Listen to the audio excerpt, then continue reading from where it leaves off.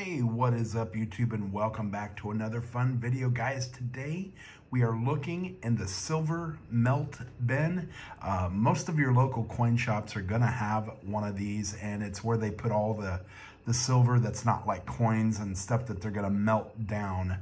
And you can see it's pretty full. Here is a salt and pepper shaker. It's just missing the top to it, but that's gonna be solid sterling silver. They've got bracelets in here. Uh, there was a ton of jewelry in it this time and you can find some really good deals. Look at these little bracelets right here. These things are really delicate, kind of like a lady's uh, bracelet, kind of like a tennis bracelet, I guess.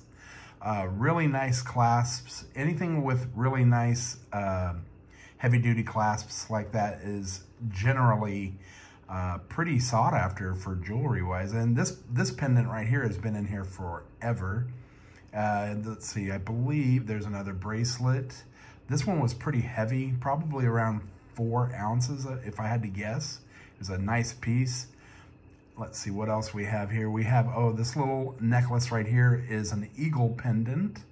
And it's hard to tell from this side, but when you flip it over, boom, there you go. There's the eagle right there. And it comes with a chain. A lot of little chains in here, as you can see just little bits and pieces, a lot of broken jewelry will go in there. Make sure when you're looking at stuff like this bracelet right here, there's another nice, really nice bracelet. Make sure to, to inspect them before you buy because uh, sometimes they can be broken. Th these were not broken, however. These were really nice pieces.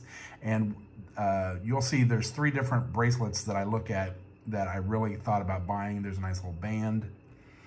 Got uh, some more little rings down here. Tons of rings today as well. Uh, there's a little bracelet right there.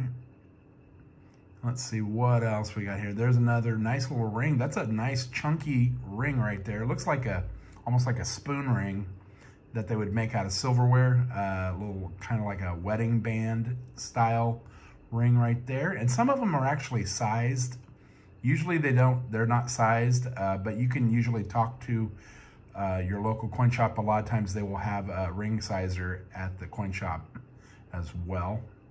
Lots of little rings and stuff in here, a little band right there.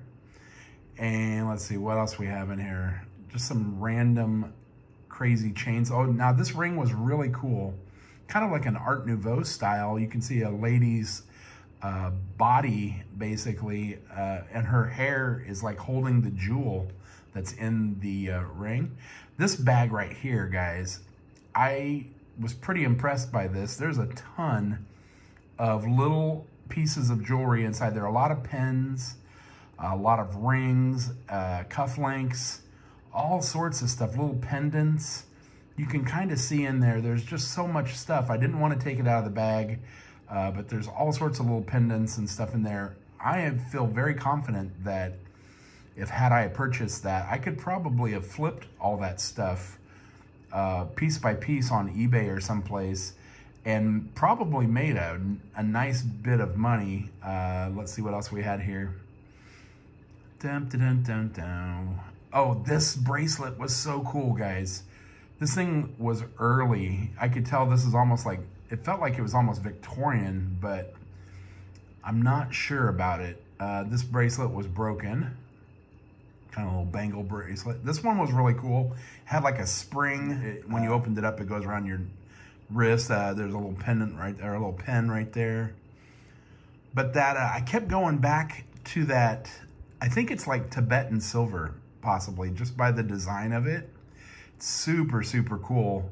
Uh, they wanted extra money for that one, so I didn't end up buying it. But I hope you enjoyed the video, and we'll see you next time. And as always, happy hunting.